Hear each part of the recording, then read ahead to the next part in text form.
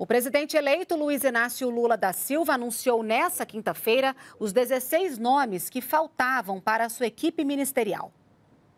Para completar a equipe econômica, Lula escolheu a senadora Simone Tebet como titular do Ministério do Planejamento e Orçamento.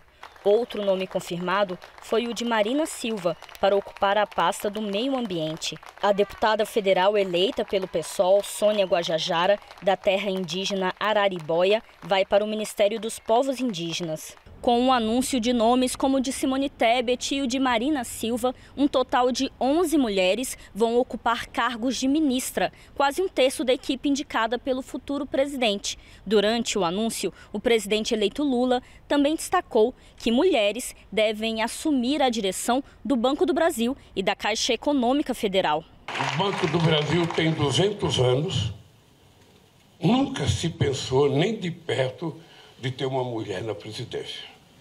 Pois nós vamos provar que uma mulher pode ser melhor do que muitos homens que dirigiram aquele Banco do Brasil.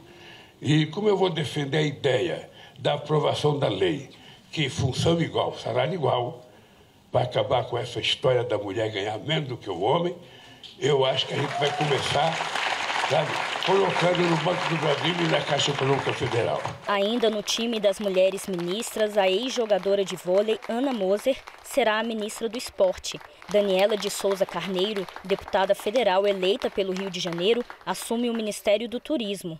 O Gabinete de Segurança Institucional, que cuida da segurança do presidente, fica com o general Gonçalves Dias.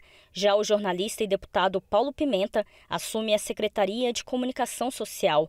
Carlos Fávaro, senador do Mato Grosso, vai para o Ministério da Agricultura e Pecuária. André de Paula será ministro da Pesca e Aquicultura. Valdez Góes assume como ministro da Integração e Desenvolvimento Regional.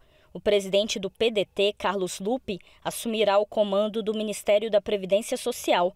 No Ministério das Cidades, Jader Filho, presidente do MDB do Pará. O deputado federal maranhense Juscelino Filho fica com o Ministério das Comunicações e o senador Alexandre Silveira com o Ministério de Minas e Energia. O vice-presidente do PT, Paulo Teixeira, vai assumir o Ministério do Desenvolvimento Agrário e Agricultura Familiar. E o senador e ex-governador de Alagoas, Renan Filho, fica com a pasta dos transportes. O presidente eleito Lula também indicou os parlamentares que vão fazer a articulação no legislativo.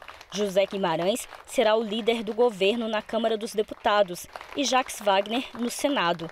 Randolfo Rodrigues vai atuar como líder do governo no Congresso.